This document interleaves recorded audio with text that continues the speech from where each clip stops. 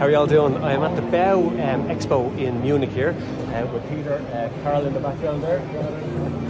Um, they are from ML System in Poland, uh, one of the biggest manufacturers in the world of uh, PV glazing, uh, facades, a lot of really good products. So I'm going to do a couple of quick vlogs uh, with Peter here, um, just telling us a little bit about some of the great products that they have. Um, this is the future. Architects, building engineers, um, if you are ahead of the curve, you will be monitoring and uh, looking at what is available with regard to photovoltaic glazing, facades, balustrades, tiling and so on. So we'll do a couple of vlogs and tell you all about. First one I'm going to tell you about is the quantum glass. Um, this is revolutionary technology. It is completely transparent. I'm, I'm, I'm correct in saying that? Yeah, yeah. yeah. Um, and it generates electricity from the sun. So it's photovoltaic glazing. Unlike crystalline glazing where you have the black square cells, and um, there are no visible uh, solar cells within this glass. Um, it generates electricity from the sun um, and it happened to win the Innovation Award at the whole of the BAU expi uh, exhibition. Um, which I thought maybe just uh, involved glazing, but it's not. It's actually every single product in the whole exhibition together. Is there anything more you can tell us about this? Yeah, this we are using a different technique from monocrystalline cells. We are spreading the quantum dot layer okay. on the whole surface of the glass, and this is causing the, the production of energy.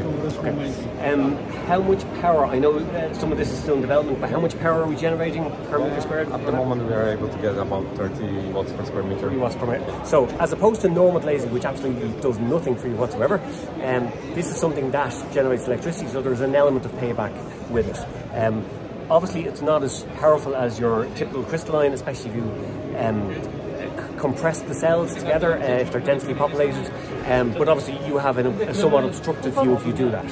Um, so it's there are different uh, advantages that are coming together because we can uh, decrease the, the, negative effect of the sun coming, energy coming to the building.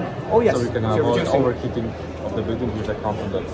Yeah. Because we are absorbing infrared, turning it into the electricity. Yeah, so you're reducing the solar heat gain as well. So as well as generating power, you're reducing the power required for air conditioning, which is obviously a really strong uh, advantage. Um, okay, so this is something we can see as being very popular um, in the market. We are obviously introducing it to Ireland. Um, there is one added advantage. Um, if, for example, this was being put on the roof as a skylight, you can heat it. Um, so there's actually heat coming off this at the moment. Um, it's quite warm, right? Yeah, it's quite warm. It is actually, yeah. Um, so if it's a skylight, um, you would normally have it at a bit of a slope, and if there's snow, for example, it, it can melt the snow. You don't necessarily, um, Peter was explaining this, you wouldn't necessarily even have to have it on the whole roof. You might have it on the lower section. The part. Exactly, so where the snow is, melts correct. off, um, which is uh, lower the cost. Yeah, lower the cost, and it's a good design uh, option.